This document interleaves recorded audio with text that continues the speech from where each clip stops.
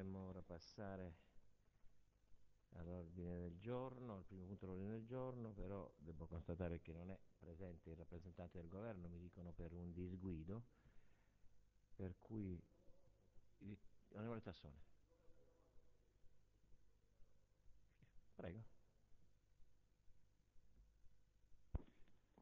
Presidente, io non metto in dubbio che ci potrà essere stato un disguido per quanto riguarda la presenza del governo, però lei deve anche convenire con me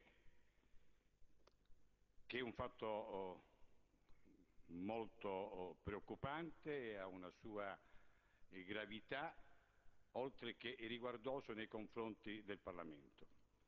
Io ho qualche eh, elemento di valutazione in più da, eh, da evidenziare e da rassegnare anche a quest'Aula. Credo che ci sia qualche disattenzione all'interno del governo o soprattutto qualche confusione di ruoli tra Ministero degli affari esteri e Ministero della difesa. Eh, io ritengo che un provvedimento, un provvedimento che è un disegno di conversione di un decreto legge per quanto riguarda il rifinanziamento delle nostre missioni all'estero certamente dovrebbe avere da parte del governo un interlocutore molto più stringente. Io mi ero illuso, eh, signor Presidente, che questa potesse essere l'occasione per un confronto molto ampio sia sui problemi della difesa sui suoi problemi di politica, eh, di politica estera.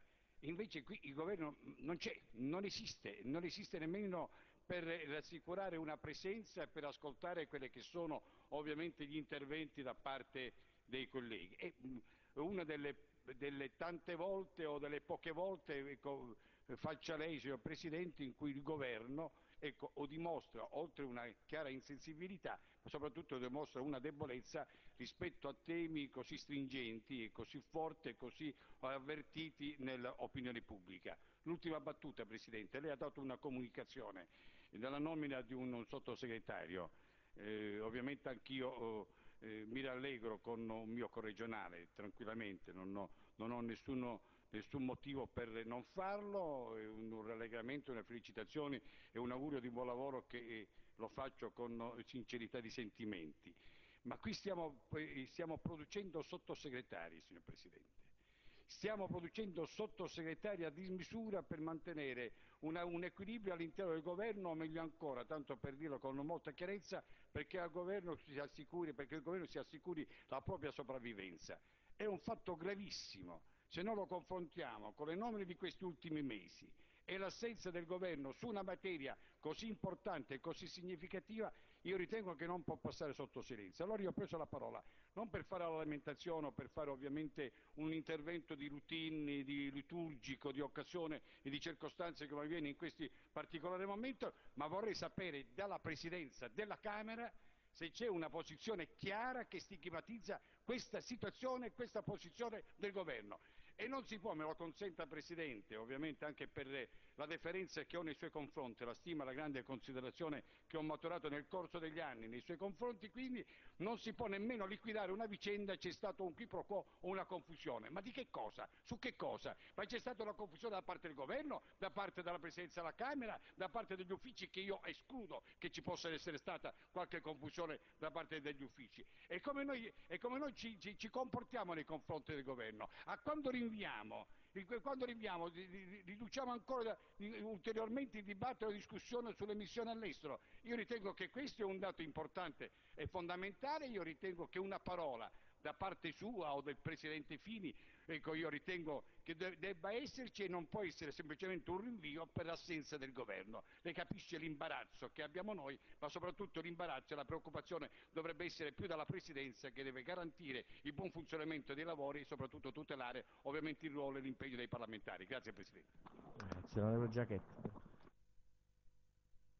Sì, ringrazio signor Presidente. Mm, noi siamo in un'aula parlamentare, dobbiamo affrontare una discussione su un decreto peraltro molto importante e il disguido può riguardare le persone, signor Presidente, non può riguardare le istituzioni.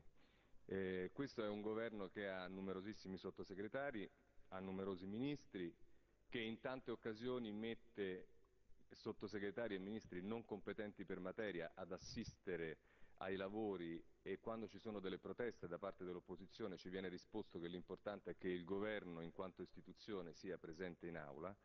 Ecco, io credo che la scena che noi abbiamo di fronte, eh, e cioè dei banchi del Governo completamente vuoti, cioè che il Governo non sia riuscito, anche a causa, può esserci stato un contrattempo, come un disguido, come lei ha detto, da parte di un rappresentante del Governo, ma questo non può minimamente giustificare il fatto che il Governo, in quanto istituzione, sia assente in aula con un suo rappresentante.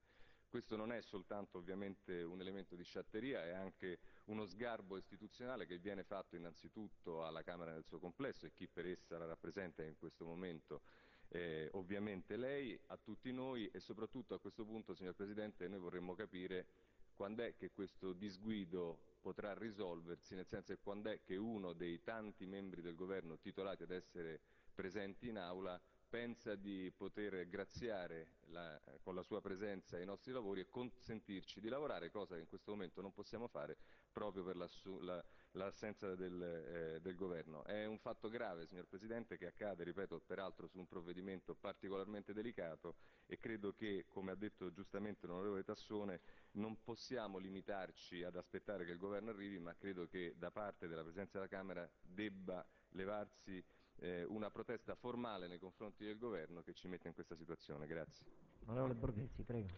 Ma Presidente, eh, noi abbiamo fatto una manovra economica sulla quale persino il Presidente della Repubblica ha chiesto eh, un, dire, una sorta di unione per approvarla in tre giorni senza avere qui il Ministro dell'Economia. Abbiamo fatto una comunitaria la settimana scorsa senza avere il Ministro per le politiche comunitarie parliamo di missioni internazionali sulle quali si stanno consumando delle questioni delicatissime, eh, mi riferisco alla Libia in particolare, ma mi riferisco anche all'Afghanistan, abbiamo un governo che ha sede a Roma, non a Monza, con tutti i ministeri che hanno sede a Roma, con tutti i sottosegretari che hanno un ufficio a Roma e non altrove, e qui non si trova un sottosegretario disponibile ad assistere a questi lavori. Io credo che questo, ben più di ogni altra cosa, sia il sintomo di un governo che non c'è più e è ora che ne prenda atto, governo inesistente, se ne vada e si vada ad elezioni perché è ora che un paese come il nostro abbia un governo che governa realmente non un Presidente del Consiglio che non viene mai in aula a parlare se non in, rarissime occasioni, non un Ministro della Difesa che viene in aula per fare gazzarra, come è stato l'ultima volta che è venuto, invece di occuparsi dei problemi seri. Abbiamo letto ieri che il sottosegretario Crosetto partiva per l'Afghanistan dopo aver litigato col Ministro Tremonti, forse invece di andare in Afghanistan poteva venire qui a seguire una vicenda che credo sia assolutamente rilevante, per cui ribadisco, governo inesistente, governo che non governa, governo se ne vada a casa. Onorevole Cirielli, prego. Sì, Presidente, eh, per unirmi eh, ai colleghi di opposizione nello stigmatizzare l'assenza del governo che credo possiamo ampiamente onorare con il nostro lavoro e quindi proseguire così come è stato detto. Voglio soltanto dire che eh, una cosa è constatare l'assenza del, governo, altra cosa è criticare nominalmente un sottosegretario che fa il suo dovere e rischia anche personalmente recandosi in Afghanistan come l'onorevole Crosetto a cui va il mio compiacimento per essere vicino ai nostri militari in un momento così difficile. Grazie, io non entro nel merito delle questioni sollevate dal punto di vista politico, però posso e debbo, direi, entrare nel merito sulle questioni procedurali e sul fatto grave che è accaduto per la mancanza del governo che stigmatizzo nella maniera molto ma molto più forte possibile. Rappresenterò anche al Presidente della Camera quello che è accaduto per eventuali determinazioni in merito e adesso ci attiviamo anche per comprendere, come qualcuno diceva, quando eh, ci si degnerà di venire in quest'Aula per questo provvedimento. Eh, grazie comunque per gli interventi. Onorevole Tempestini su un altro argomento, vero? Prego.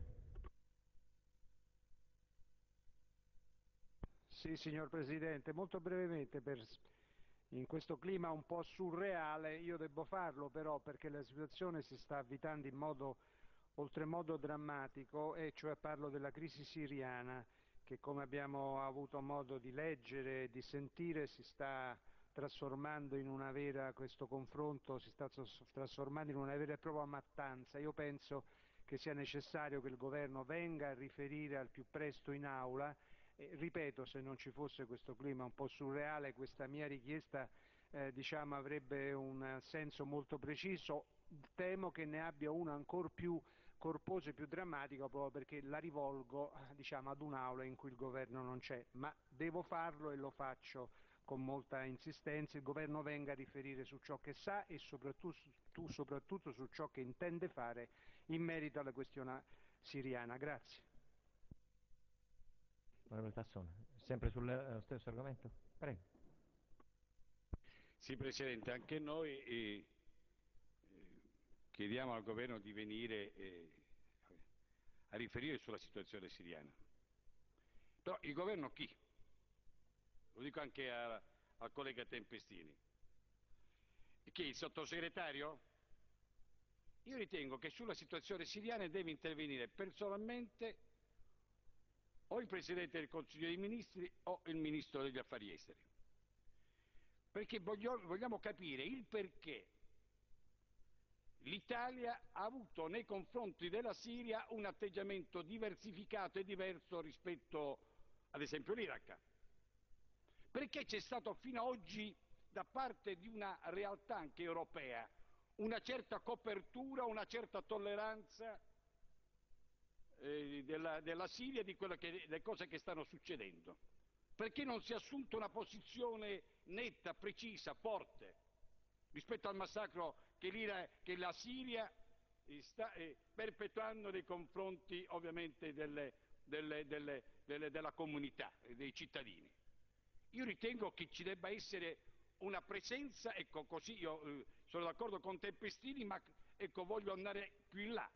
Bisogna che ci sia il Ministro degli Affari Esteri, che ci dichiara qual è la politica estera di questo governo per l'Afghanistan, per la Libia, eh, per la Siria, eh, per, per Nord Africa. Lo vogliamo capire che ci viene la comunicazione del sottosegretario ovviamente, e poi il giro di cinque minuti dei rappresentanti del gruppo non serve a nulla. Allora, signor Presidente, io ritengo che ci debba essere anche una, qualche momento di riflessione forte sulla politica estera di questo, di questo, di, queste, da parte di questo governo.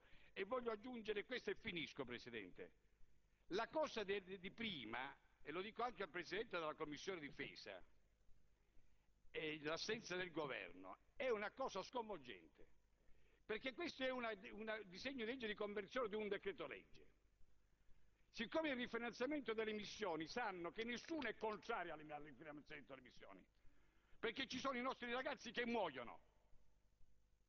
Se ci fosse stato un provvedimento, un decreto legge che serviva e interessava direttamente al governo e c'era una dialettica all'interno del Parlamento, sarebbero stati tutti presenti, non soltanto il rappresentante di un ministero. Questo ha il sapore del ricatto, ma soprattutto di una conduzione pressoché responsabile da parte di questo governo. È molto più grave di quanto si possa pensare all'assenza del governo, signor Presidente, perché l'assenza del governo significa assenza di una politica e della politica estera, e questo è molto grave e soprattutto molto preoccupante.